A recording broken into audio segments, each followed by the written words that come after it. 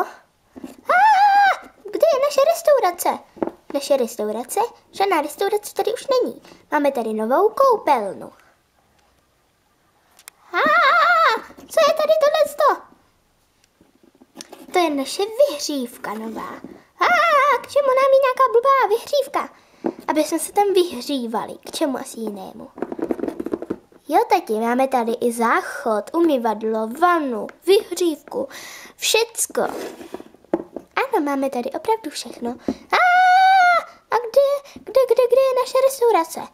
Teď jsem ti to už říkala, žádná restaurace tady už není. A, neřvi, prosím tě.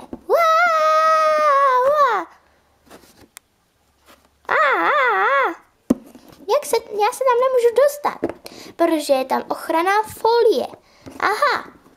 Mm, a prosím tě, neřvi. Tati, co se stalo? Tatínek se lekl naší nové koupelny. Aha. Hm.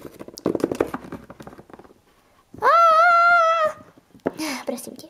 Ten nábytek, co byl v restauraci, jsem uh, prodala a za to jsem koupila tady tuto, toto vybavení do koupelny. A na co nám je koupelna? Neměli jsme koupelnu, prosím tě. A my jsme, museli jsme se jet koupat za naší maminkou. A to bylo strašné. No vidíš, tak teď aspoň máme naši novou koupelnu. To je pravda. Jubi!